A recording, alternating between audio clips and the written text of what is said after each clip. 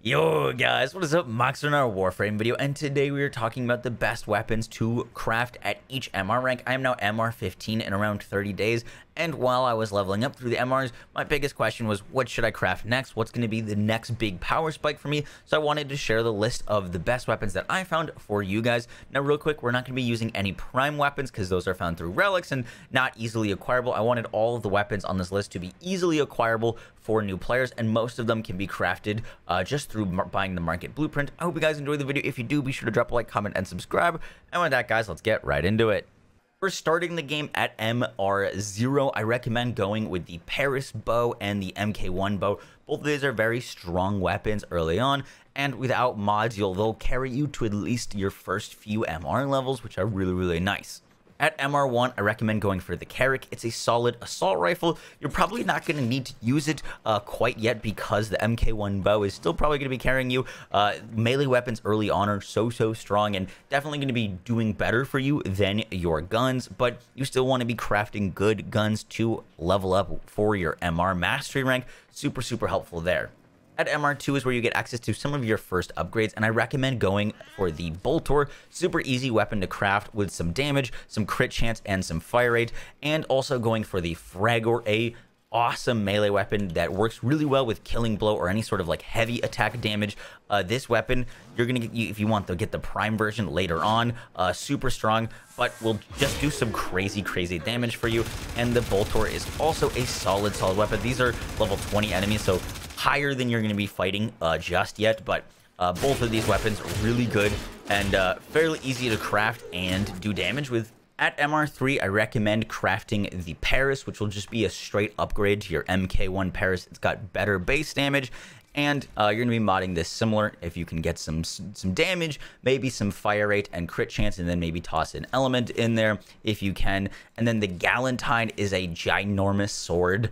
Um, it's really, really fun to use, and you're going to craft that similar to how you would, or mod that similar to how you would use the uh, Fragor. Um, and this thing just like spinning around will murder everything. Uh, this is the Paris. It does tons of damage. Compare this to like the, the Fragor that we were using earlier. Big, big damage on that. And then the, uh, the Galatine, you could literally just spin around and dice enemies. Both really solid weapons to craft at MR4. Or 3, sorry. At MR4, you get access to two weapons that will legitimately carry you through the entire star chart. Uh, the Hek is absolutely insane. You will want to eventually get this Scattered Justice mod. You're definitely not going to have it uh, early on, but getting the Hek, which is a strong shotgun, which you can invest into and is also have huge upgrade potential with getting the Scattered Justice mod from uh, the Steel Meridian Syndicate is really, really nice. And then the Guandao, huge weapon. Uh, when you're running around with this thing, you're going to be just spinning and killing everything. Both of these weapons are super, super strong. Just going to take off uh, some of those mods real quick to show you guys. Level 20 enemies. And, and the Hek has upgrades, but like this weapon will genuinely carry you through the star chart. For um, the um, junctions is really strong too. And then you could literally just, just spin the Guandao and melt everything. Both really strong weapons to craft at MR4. At MR5, if you kill an enemy called the Stalker, he will drop the blueprint for the Dread, which is one of the better bows that you can get, if not the best bow you can get for a very long time. Uh, super, super strong will be a direct upgrade to your Paris. And uh, the Atomos, I honestly didn't really use secondaries very much uh, while playing uh, early on because I just didn't find them that useful, but the Atomos is a nice secondary to craft. Uh, in addition to the Dread, there is also the Kohm shotgun, which is very nice. It's an automatic shotgun that speeds up, and it'll eventually, once you get it sped up, just plow through enemies. Um, so Dread, the Kohm, and the Atomos are the most noticeable MR5 weapons to craft. Uh, the Dread will hit like a monster, uh, especially if you have the aim, and it's a silent weapon. A really, really big upgrade if you can get this thing. At MR6, I recommend crafting the Soma, which will probably be the best assault rifle you'll have for a while. And you can also go for the Cernos. Now, I do not have the uh, regular version of the Cernos, which is the bow to craft. Uh, I only have the Proboscis Cernos because as you level up the Cernos, you'll unlock more and more versions of it to craft, which turns into this Proboscis Cernos at MR15, which is going to be one of the coolest bows and one of my personal favorite weapons. So I recommend crafting the Cernos and each progression of it uh, but showing off the Soma. Awesome assault rifle. If you're still using assault rifles like the Boltor, uh, this will definitely be replacing it.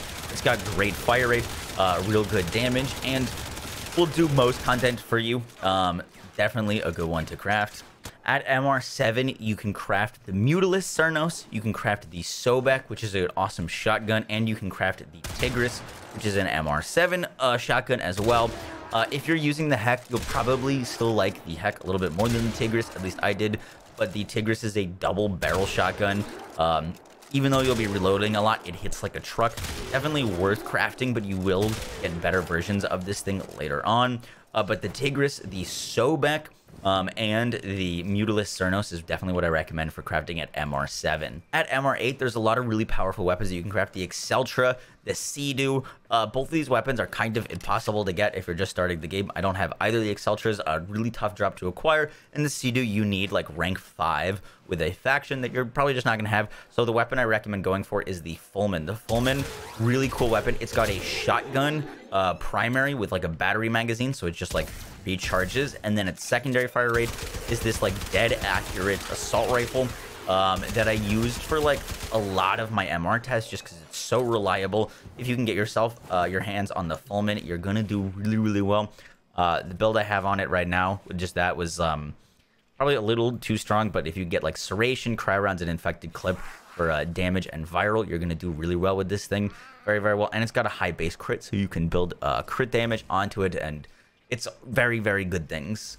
At MR9, you get access to some seriously strong weapons, and I recommend crafting the Ignis Wraith and the Phantasma. The Phantasma is a beam shotgun that does base radiation damage, and if you invest in it, is one of the strongest weapons in the game. And the Ignis Wraith, one of the easiest weapons in the game to use, uh, but don't mistake that because it does seriously good damage and AoE damage, which is really, really nice to have. Uh, here was the Ignis Wraith build that I was using with Heat and Viral, which will cover most of the elements or most of the enemies that you need to cover in the entire game. And it just mows down things. Um, these are same level 20 enemies that were doing before, and you can just spray it into the air and like literally everything will die. It's crazy, crazy strong. And when I got this, this instantly became my favorite weapon. So definitely recommend uh, getting the Ignis Wraith. And if you're in a clan, uh, you will be able to craft this thing. At MR10, I recommend going for the Amprex or the Arca Plasmor from your dojo.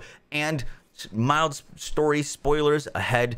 Uh, if you have done a second dream, you also get at MR10, you get the Broken War. Uh, you can get this before MR10 if you do the quest before MR10, but this weapon comes with double the mod capacity already uh, and will just do so, so much damage for you because you can put more mods on it. It's really, really strong, uh, both the Amprex and Broken War.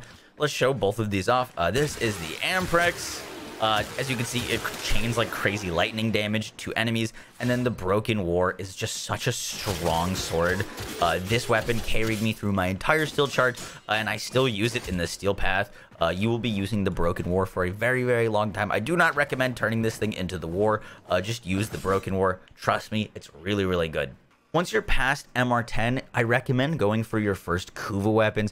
Both the Kuva Bramma and the Kuva Zarr are some of the strongest weapons in the game. They do crazy AoE damage, which is part of the reason they're so strong. Now, you do need, if you're going to use these weapons, you do need frames that are knockdown immune because these weapons will knock you on your butt. Uh, Gauss, Nezha is probably one of the easiest ones to get. Uh, use this with Nezha early on. These like big explosive weapons, uh, the Kuva Zarr and the Kuva Bramma. Uh, Nezha's 3 makes her immune to knockdown effects. Rhino becomes immune to knockdown effects. That's a super easy one to get. Um, but these weapons will literally just do so much work for you uh, because they do crazy AoE, and you can take these into the late game. You can invest as much as you want into them. I do recommend for the base elements from the Liches uh, to go for either Heat or Toxic. Uh, for your base element.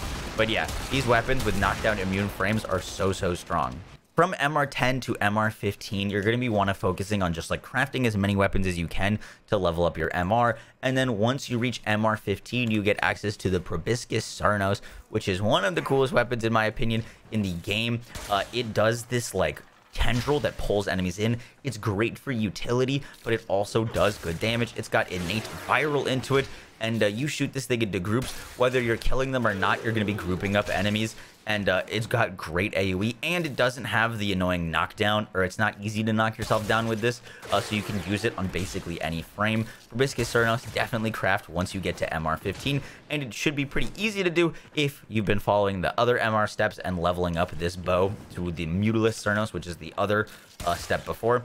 Super, super cool. Guys, that is it for our MR, uh, what weapons to craft. Uh, there are a lot of things that I left off of this list, a lot of things that are hard to craft that, like, you aren't going to encounter super easily, but there are other weapons to go out of your way to get. Uh, I hope you guys enjoyed this video. I hope you found it helpful. I stream Warframe uh, a bunch on twitch.tv slash Moxsy. If you enjoyed the video, be sure to subscribe, and I'll catch y'all in the next one, guys. Take care. Peace.